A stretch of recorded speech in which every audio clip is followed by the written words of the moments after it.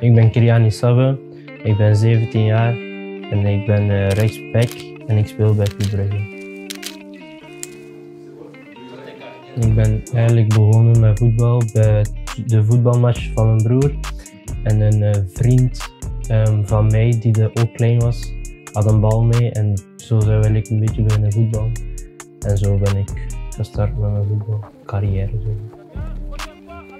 Ik hoop um, een eerste klasse voetbal.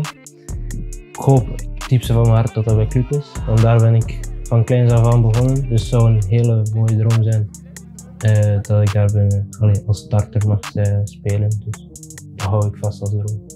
Ik denk dat ik bekend sta op het plein met mijn uithoudingsvermogen en met mijn traptechniek. En als back is het ook van, allee, ik kan ver ingooien, dus daar sta ik ook bekend ik heb zeker een droom om in het buitenland te voetballen. Ik denk dat dat allee, als voetballer zijn toch iets uniek is dat je daarmee kan maken in het buitenland te voetballen. Ik hoop Spanje of uh, Engeland.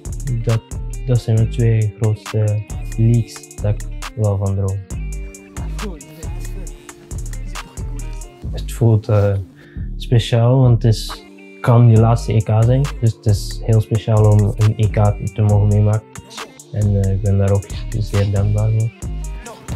Ik verwacht dat we toch uh, de tegenstanders moeilijk kunnen maken. En dat we hopelijk door de eerste ronde geraken, want dat is toch heel belangrijk.